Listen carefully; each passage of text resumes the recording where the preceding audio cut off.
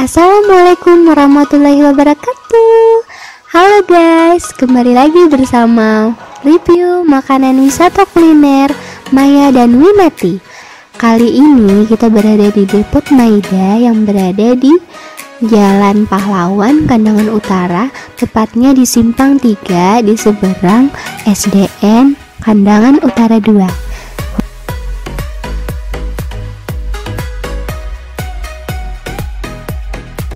Halo guys, kembali lagi bersama kami. Saya Maya Mahyuni. Saya Lina Salimah.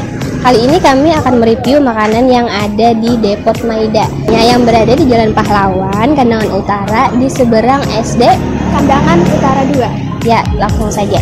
Di sini kami ada memesan burger big plus keju seharga Rp15.000, ayam kalasan seharga Rp12.000, kentang goreng seharga Rp5.000, jus apel seharga Rp5.000, coklat tos coklat seharga Rp6.000. Ayo langsung saja kita coba. Di sini aku memesan burger.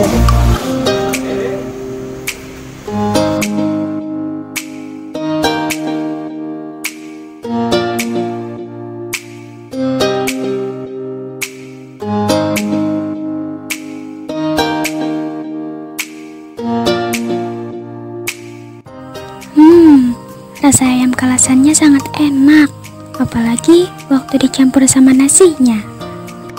Hmm, enak banget guys burgernya. Dagingnya itu lembut, empuk, rotinya juga lembut banget. Dan juga di sini mayonesnya dan tomatnya itu pas banget, nggak kebanyakan, jadi nggak enak di lidah. Enak banget deh pokoknya burgernya ini, nah banget ini ancaman guys. Nah sekarang aku mau nyoba kentangnya.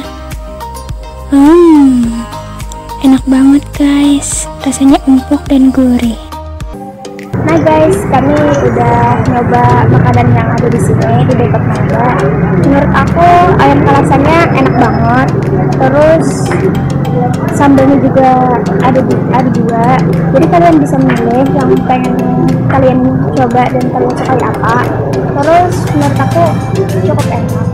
Sama kentang dan minumannya aku rasa enak banget. Ya, kalau aku juga burgernya enak banget dagingnya itu empuk dan sayurannya itu fresh banget dan juga jusnya itu masih segar Nah, kalian harus datang ke sini karena di sini harganya murah-murah banget terjangkau buat kalian yang masih para pelajar. Begitu dulu review dari kami. Makasih sudah menonton.